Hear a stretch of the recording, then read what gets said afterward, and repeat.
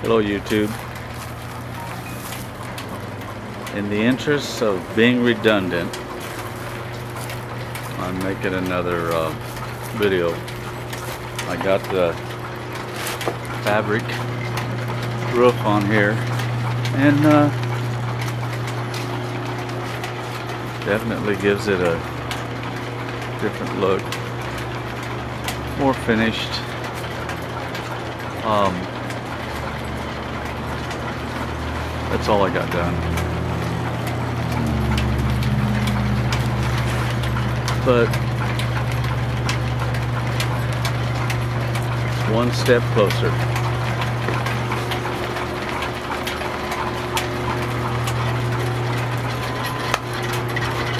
And uh,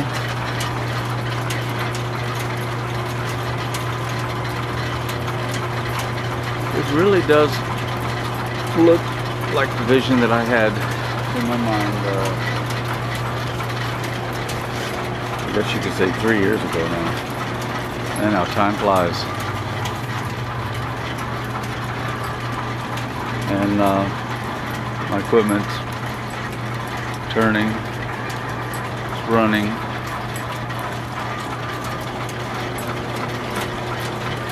I got one belt, well two belts I need to probably tighten up a little bit.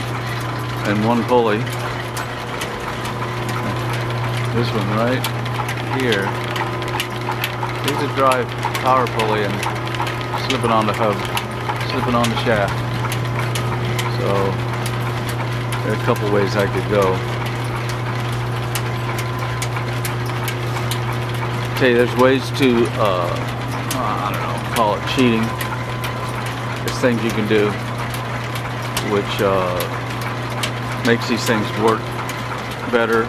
And after all, that's that's uh, that's all we're trying to do anyways, make it work. And I know that the men from 100 years ago, they do what it takes to make it work and uh, just to give you a couple of my little secrets away which uh, if you look I don't know if you can see that pulley but uh, crown pulleys is what makes the belts track and uh, when I first put it up there the belts might be off just a little bit so what I did was I took electrician's tape. You can see it right there on, on the, this large pulley. And I just uh, did half dozen wraps, give it a little bit tiny crown, and you know what, it, it pulls the belt right over to it. I did it on this one also, and uh, this belt is uh,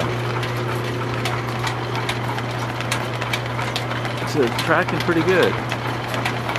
I had problems with this one. This was at the beginning. And uh, I don't know if you can see it. But uh, I did it to that one. And it, it pulled the belt right into line. I mean, that belt is probably what? Um, eh, drifts out an 8 3 16ths of an inch off the pulley. And now this one, you tell me, I put it up there and, and everything just ran just the way it had ought to. And, um, and of course this one, same story. This one, this one uh, shifts a little bit awkwardly, I'll say.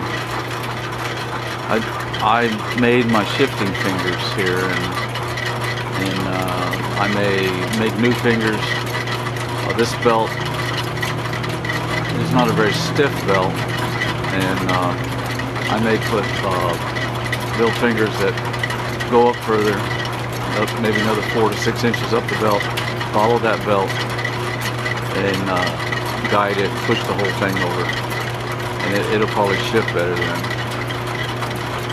these all these Of course, all the cone pulleys, they come crowned,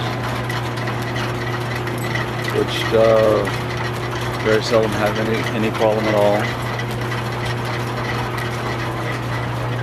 And this one, my four speed. And of course, my first crossed, I, I didn't know uh, really how a, a crossed belt was going to act. And I got to tell you, had no problem. They, uh, now these uh, fast and loose pulleys, I guess you know, the, uh, the fast and loose pulleys and the, and of course the power pulley off the shaft are not crowned because you have the fingers to guide the belt. And uh, with the fingers, all your uh, belt tracking problems go away. So, uh, and everything's running pretty good now. My all my uh, loose pulleys are are actually running pretty smooth. In, in a past video, this uh, set of pulleys right here, my fast and loose pulleys, they're cast iron. They were twin pulleys. They uh, came uh, with an 18 inch, one and an eighth inch uh, borehole in them. ID, that's the, the shaft, the jack pulley that they're on. And so I kind of left it. This, this one here is a little loose. Not bad. It's, uh, you know, the old timers, they said, you know, you could uh, bore out cast iron and run it uh, as, a, as, a, cast iron bearing. And uh, I, I, did purchase some bronze bushings uh, for this, but for now I'm, I'm uh, going to run it the way it is until uh, it shows that it has a problem. I guess if it doesn't have a problem,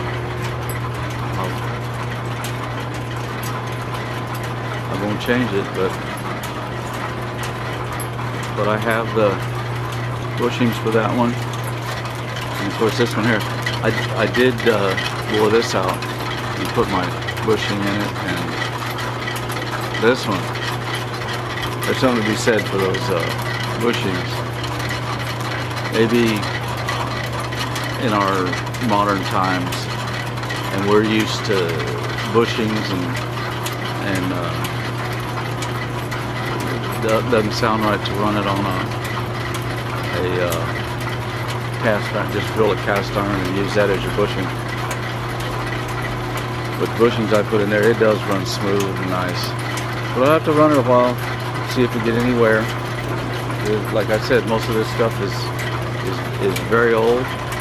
I haven't poured any Babbitt. And so all my bearings and, and everything is, uh, is uh, as found, as bought, and uh, I'm fairly sure that all of this stuff will outlive me and uh, will continue to turn for the next generation. Well, I just wanted to show my new my new lid. Got a new hat for the old trailer and, uh, and she wears it well. Well, thanks for uh, subscribing and, and commenting. And if you have any more comments, uh, please leave them at the bottom. Thank you very much.